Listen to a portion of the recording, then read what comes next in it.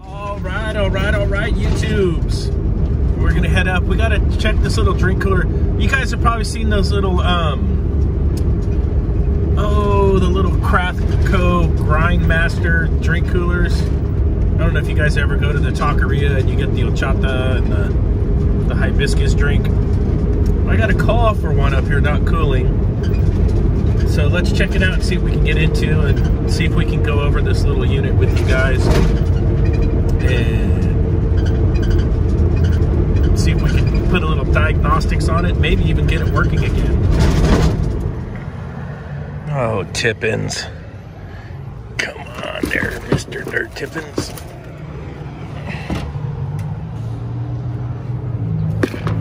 Let's get in there.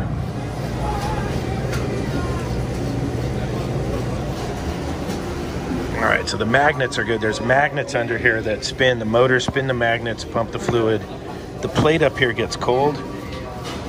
That's the refrigeration plate. And there's a condenser in here and a cap tube system. A couple switches, and there is a thermostat for this unit.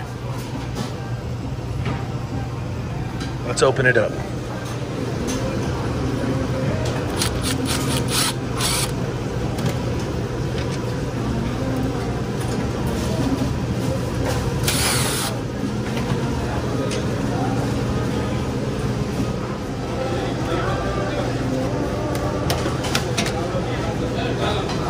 Our condenser.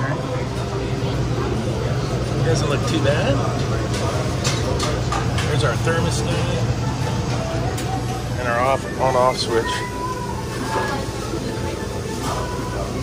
Okay, here's the other end with this end off, and then we'll take this side plate off next. You got to take the two ends off before you can take the side plate off. And I think I'll take this side plate off. Might have a dead thermostat. I don't see the condenser fan running or the compressor running.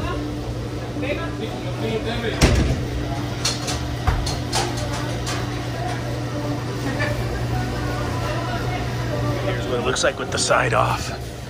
You got the switch on the top is for the for the for the motors here. Those motors spin with the magnet on top of here. I wish I could take it apart and show you, but what it looks like is the toggle switch for the refrigeration failed. Watch.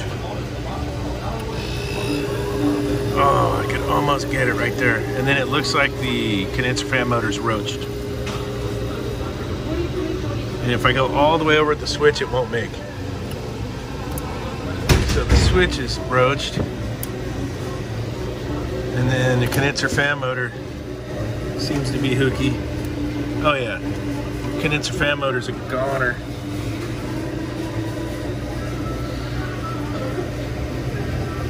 Let's see if I got a switch on the truck. I gotta see if I got some type of a toggle switch on my van.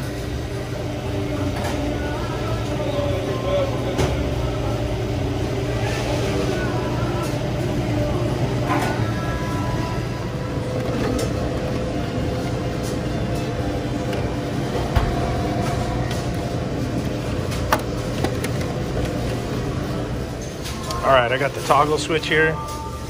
Very generic toggle switch. And the Elco condenser fan motor. Let's get this taken apart and we'll get into it. When you get all the, the fronts and the sides off, you can see how this motor, you're gonna take the two base plate bolts off and the motor's gonna come out on this side. The other side has the liquid line dryer, cap tube and wires in the way for the condenser fan motor. And that thing's just not happy camper. Yeah, this side has all the traffic on it when you spin it over here. And then it's this bottom switch that failed. We'll get that out of there. She's a leaker, mama. She's a leaker. Switch just fell apart as I took it apart, as I took it out. Just a goner.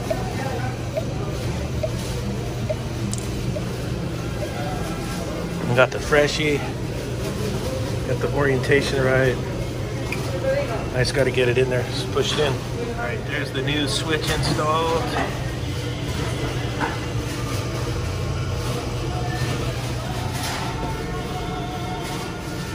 Now let's work on this motor. Get the 7 7 16ths ratchet wrench. Go to town. You got to get on the bottom to hold it and then get the nut off both sides and then the motor will come out. All right, to get the condenser fan blade, I mean motor out, you have to take the blade off. There's a retaining nut. Take that retaining nut off, get the fan blade out, and then you can get your motor out. You're not going to move the compressor because it'll bottom out on the motor. For a heads up, because I did try to do that. And it was a big uh, no-go. Put these back in before I forget.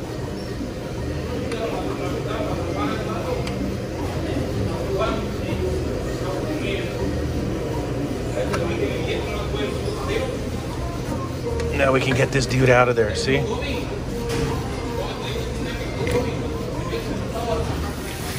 See if we can shine this little dude up. Guy's a little Grease-O-Matic 5, get the hot water going.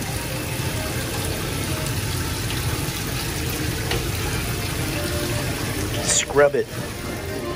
All right, there she is all shined up. Ready for the starting lineup. The pluggo.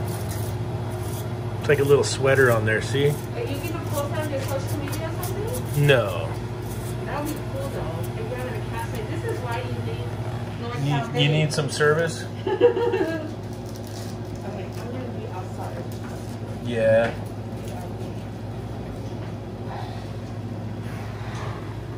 Hell yeah, it's going on social media.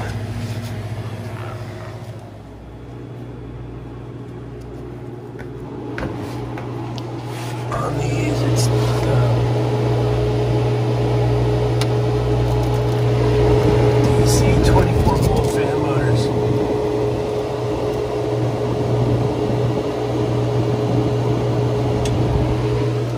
For heads up.